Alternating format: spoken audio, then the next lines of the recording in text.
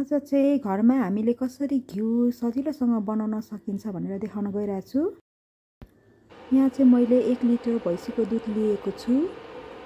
भैँसीको दुध चाहिँ बाक्लो हुने भएर खाँदा पनि मिठो हुन्छ र यसमा राम्रोसित तर बस्ने हुनाले म चाहिँ भैँसीको दुधै प्रिफर गर्छु। राम्रोसँग उमालिसकेपछि चाहिँ यसलाई हामीले अब सेलाउन दिने र सेलिसकेपछि चाहिँ यसमाथि चाहिँ राम्रोसँग तर लाग्छ। र तर लागिसकेपछि चाहिँ अब हामीले चाहिँ यो काँटाको सहयोगले चाहिँ वरिपरि गरेर चाहिँ बिस्तारैसित यो तरलाई निकाल्ने। अब यो तरलाई चाहिँ म एउटा बट्टामा राख्दैछु र मसँग चाहिँ यो पाँच छ दिनको कलेक्सन भएको तर हो। यसलाई चाहिँ म अझै दसदेखि बाह्र दिनसम्म अट्ने कन्टेनरमा राख्छु। म चाहिँ यसरी नै दिनकै तरहरू झिकेर चाहिँ यही कन्टेनरमा राख्ने गर्छु। र मसँग चाहिँ आज चाहिँ यो बाह्र दिनको कलेक्सन हो। अब यसलाई चाहिँ म कसरी घिउ बनाउने त्यो चाहिँ म तपाईँहरूलाई देखाउन गइरहेको छु सुरुमा चाहिँ हामीले एउटा मिक्सर लिने र मिक्सरमा चाहिँ थोरै थोरै गरेर चाहिँ यो तरलाई राख्ने। यसमा हेर्न सक्नुहुन्छ मैले यति मात्रै लिएको छु धेरै लिएको छुइनँ। अब हामीलाई चिसो पानी चाहिन्छ। यो चाहिँ हामीले चाहिँ घिउ बनाउनु अगाडि नै एक घन्टा अगाडि चाहिँ चिसो पानी चाहिँ फ्रिजमा राख्ने र यसरी खनाउने। र अब हामीले चाहिँ यसलाई मिक्सरमा राख्ने। र यसलाई बिर्को लगाइदिएर र मिक्सरलाई हामी अन गर्ने।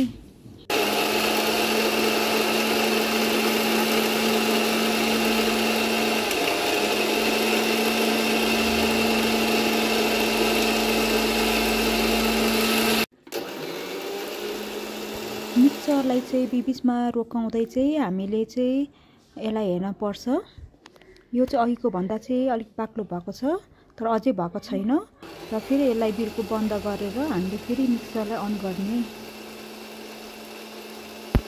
फेरि हामीले यसलाई अफ गरेर फेरि हेर्छौँ र यो अलिक बाक्लो भएको छ र यसमा चाहिँ हामीले थोरै पानीहरू एड गर्दै जाने।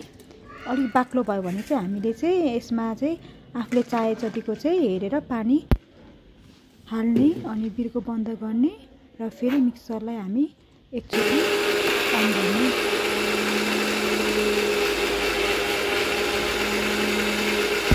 अब हामीले यो मिक्सरको बिर्कोबाट पनि थाहा पाउन सक्छौँ। अलिक यो चाहिँ अब बन्दैछ भनेर। यो अलिकति छुट्टिन्छ र खोल्दाखेरि यो अझै बाक्लो भएको छ। र अब हामी यसलाई फेरि बिर्को बन्द गरेर फेरि एकचोटि घुमाउँछौँ। र बिस्तारै दुई तिन मिनट घुमाइसकेपछि र यसको बिर्कोबाट हामीले थाहा पाउँछौँ कि यो पानी र यो जुन मिक्स मिक्सर चाहिँ छुट्टिन्छ। ल हेर्नु त मजासित अब यो दुइटै लेयर चाहिँ छुटेको देखिन्छ। र अब हामीले बिर्को खोल्छौँ। अब हामीले यहाँ देख्न सक्छौँ घिउ माथितिर आइसकेको छ र मही छुटिसकेको छ। र यस अझै पनि यो राम्रोसँग भएको छैन। अब यसलाई अझै पनि राम्रोसँग चाहिँ बन्नको लागि चाहिँ यसलाई फेरि बिर्को बन्द गर्ने र बि बिर्को बन्द गरिसकेपछि हामीले मिक्सरलाई फेरि एक मिनटको लागि चाहिँ अन गर्ने धेरै नगर्ने जस्ट वान मिनट गर्ने र वान मिनट गरिसकेपछि हामीले फेरि बिर्को खोलेर हेर्न सक्छौँ।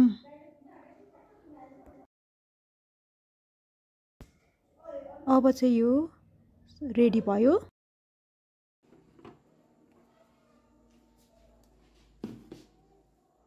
अब बिस्तारै हामीले चाहिँ यसलाई खेलाउँदै माथि माथि तार्दै यो घिउलाई निकालेर एउटा सिसाको भाँडामा राख्ने।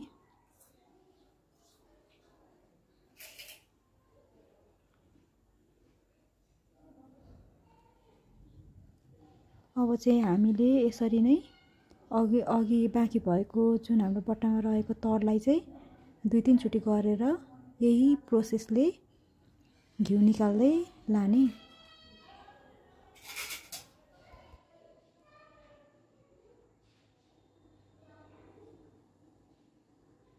घिउ निकालिसकेपछि चाहिँ हामीले चाहिँ रहेको मैला छुट्टै भाँडामा राख्ने।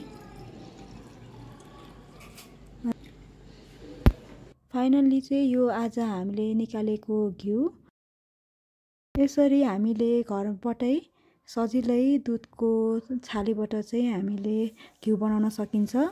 र तपाईँहरू पनि एकचोटि ट्राई गर्नुहोस्। यदि तपाईँलाई चाहिँ मेरो आजको भिडियो मन पऱ्यो भने लाइक कमेन्ट सेयर र सब्सक्राइब गरिदिनु होला। धन्यवाद।